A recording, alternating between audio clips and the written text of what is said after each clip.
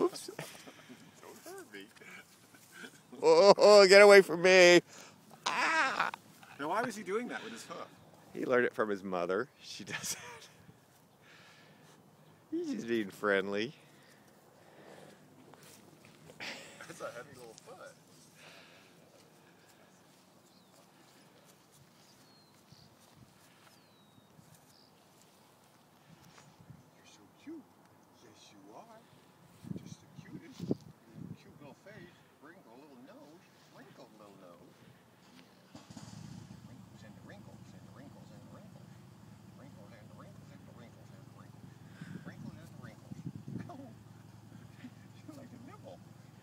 Nibbler, aren't you?